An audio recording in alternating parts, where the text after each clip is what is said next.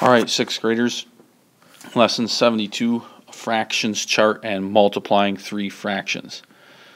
Uh, we've learned three steps when working with fractions and mixed numbers. First, uh, if you remember, we write it in the correct shape. Second, we do the operations, so math, uh, that would be division, multiplication, subtraction, or addition.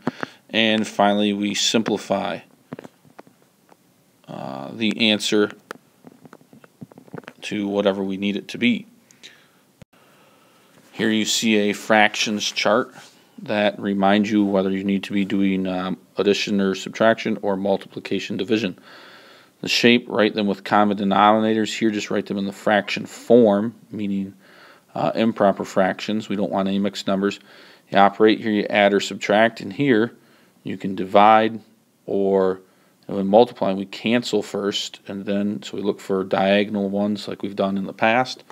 And finally, we reduce the fractions. So those are the three things that we need to do. So let's take a look at the example here. We have 2 thirds times 1 and 3 fifths times 3 fourths. To do this type of problem, we need to get them all in the correct shape. So this will remain 2 thirds. This guy 5 times 1 is 5, plus 1 is 8, so that'll be 8 fifths. And we can keep this 3 fourths. There's no division in here, so we don't have to do any reciprocals. Now, again, we, we look diagonally to reduce. Now, what's interesting with three of them is you can look diagonally far away from each other. So here, this 3 will cancel out this 3, and they'll both become a 1.